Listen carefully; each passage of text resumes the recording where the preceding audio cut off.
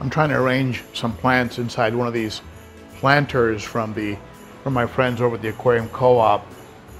The Easy Planter, kind of cool. I'm gonna try and get some Anubias to stay in there uh, and and hold it down with some of this hornwort. And uh, this tank is my planted 55 gallon, and it has uh, it has some crypts.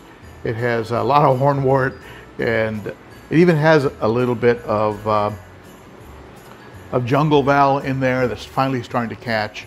So, uh, it, but it's a work in progress. You know, if you have a planted tank, you know you're always having to trim and do stuff. So, at any rate, uh, what, what what does uh, Dorothy from The Wizard of Oz and uh, Count Dracula have to do with with uh, holiday depression and fish keeping? So, uh, I'll get to that.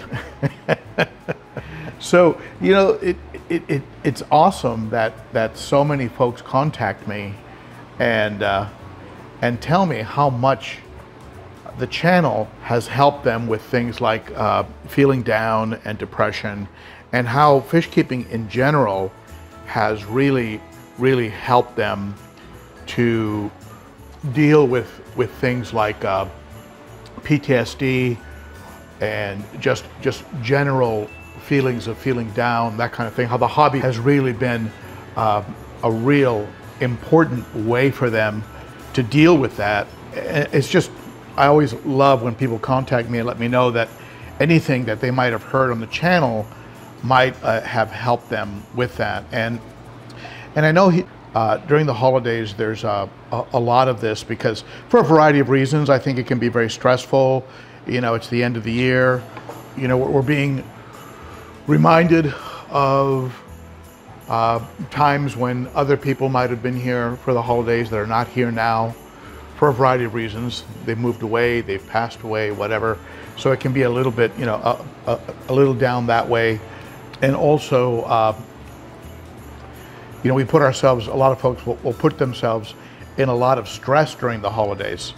What's that old saying about uh, buy, buy, buying things I can't afford with money I don't have for people I don't like. Uh, so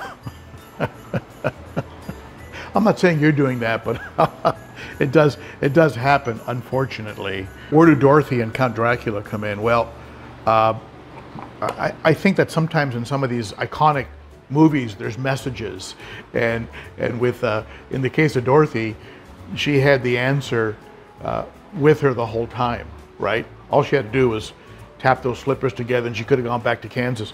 So I think a lot of us, a lot of us have the answer uh, and just don't know it, you know. Uh, I'll give you an example. Very often I'll, I'll, I'll, I'll talk to somebody who is not feeling right or you know has written to me about something and and you, you find out that they have somebody in their life that is making them miserable maybe they're being ragged on all the time about their YouTube channel or about their aquarium or about wanting to, to get another tank or they want to pursue the hobby and they can't or something's going on. Uh, maybe they have a boss that's, that's just a, a jerk or, or, a, or even worse, they have somebody who's pretending to be a friend and all they're doing is making them feel uh, insecure or bad or introverted and that's where Count Dracula comes in. Because in the legend of Count Dracula, he can't, he can't come into your house unless you invite him in. So,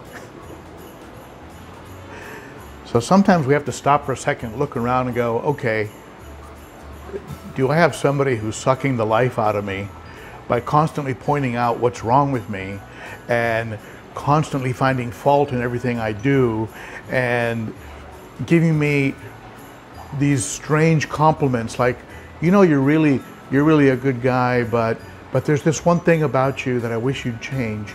And, and, you know, those people that when you walk away from the conversation, you're feeling like not right, like kind of slimy, you know, like watching politicians on TV. and when you're, when you're done watching them, you want to go take a shower, you know. So at any rate, if, if during the holidays, if during these holidays you're feeling a little bit down, uh, immerse yourself in the hobby Uh, it, it really is therapeutic. Uh, it's not. It, it, it's it's there's actually science behind it, right? Working on these tanks, watching the fish, it does it does uh, uh, lower your heart rate, your your blood pressure, and uh, you know helps your immune system, all that good stuff. And uh, and ask yourself, have uh, have I invited any vampires into my house that are uh, sucking some of the life out of me?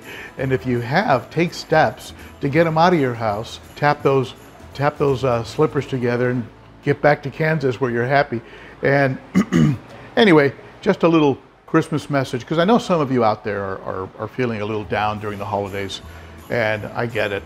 I get it. You know, just really make sure there's no one around like that, and and and and really do the things that you enjoy, like fish keeping, and immerse yourself in it. And whether it's fish keeping or or, or another extreme fishing, uh, you know, hiking, get out, get fresh air, and uh, another bit of advice I'll, you know, I'll give you. This is not a health channel. This is a, a fish keeping channel, but we take really good care of our fish. We watch what we feed them. We make sure the air is clean. The, you know, they're, they're, they're getting oxygen, that, they that their tanks are in good shape. But very often we don't take care of ourselves. We don't get enough sleep. We don't eat right. We just don't take care of ourselves. And so uh, move around, get outside, get some fresh air if you can, and, and, and eat better, cut out sugar as much as you can, especially during the holidays. Get lots of sleep. And uh, those are the best tips I can give you. And, and don't, don't let Dracula in your house. All right. Thank you, my friends, and have a wonderful, have a wonderful holiday. Yeah, that doesn't look too bad.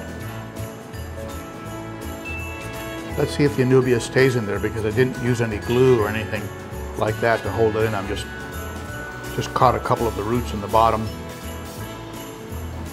Well, we'll see. We'll see if it works. By the way, if you like the content of the channel, don't forget to subscribe, hit that bell, hit, hit that thumbs up, and uh, check out check out these videos if you if you'd like to check out some of my best aquarium care tips and and be sure to punch me in the mug here if you'd like to subscribe.